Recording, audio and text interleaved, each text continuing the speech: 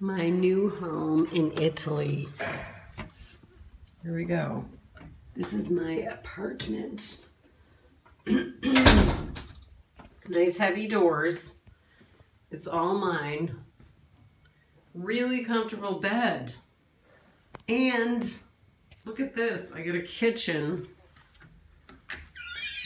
Look, everything I need. Stove, refrigerator, mirrors, nice,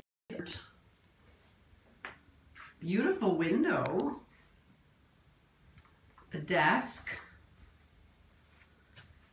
television, more art. I'm pretty impressed with this. Right in the center of Florence, people.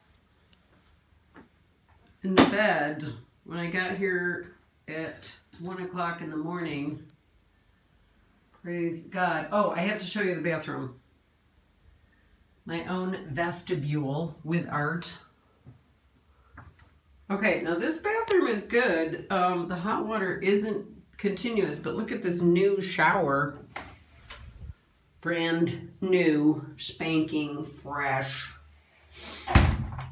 Toilet with your choice of bidet, which I like.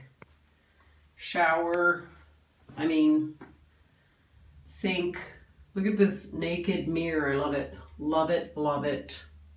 Heat and hey, I got everything I need. Two minute video of my new home in Florence.